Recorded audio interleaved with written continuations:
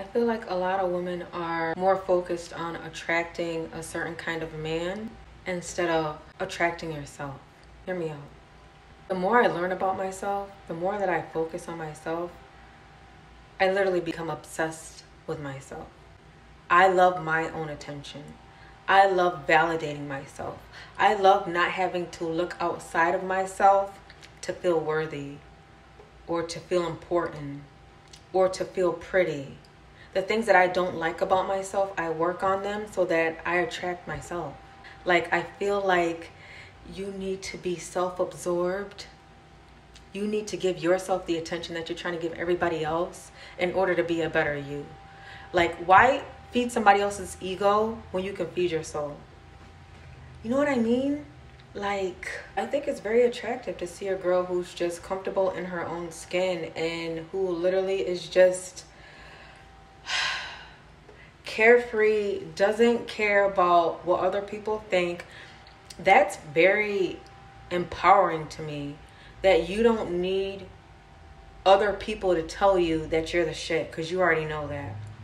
Because you can sit with yourself because you have self awareness, because you have this self knowing that whether this relationship or this thing does not work out, I still got me.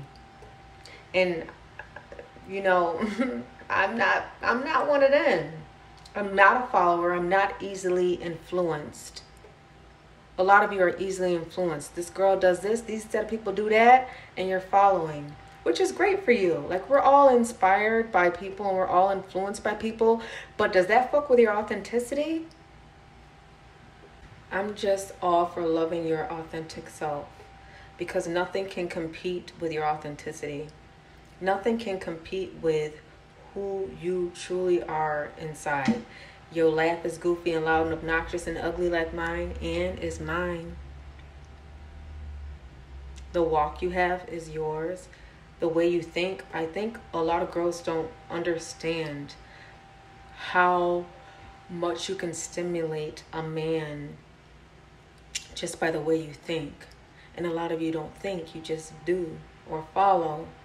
And so you attract weak men who only like you for your exterior. For his ego, your appearance is all that you have to give. So that's where he can only meet you at is the flesh. Do that inner work, shouting. It's worth it, baby. I'm trying to tell y'all.